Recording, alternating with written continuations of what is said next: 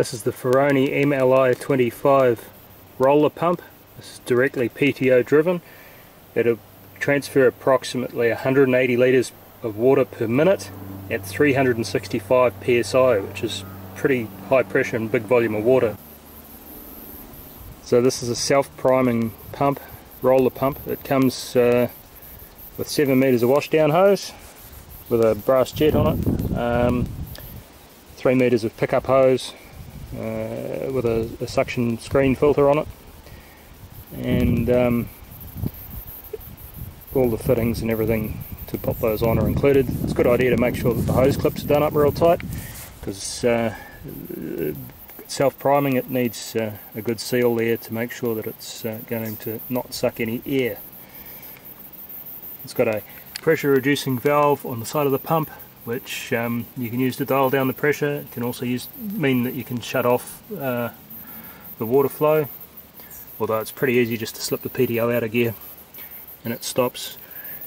The chain here is used to secure the pump that stops it falling off and to stop it rotating.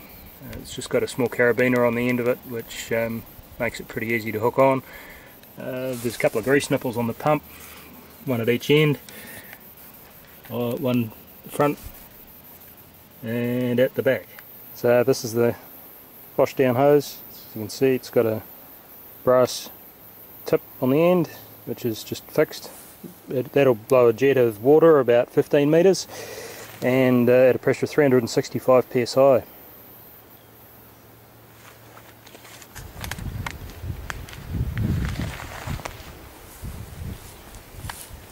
I've just tied a weight onto the um, onto the filter so it'll sink down in the water um, just because the hose is a bit stiff because it's brand new.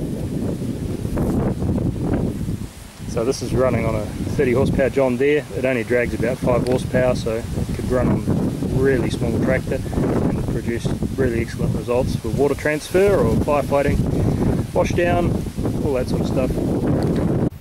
So I'm just going to chuck this in the water and uh, we'll get it uh, get it fired up and um, show you how powerful it is.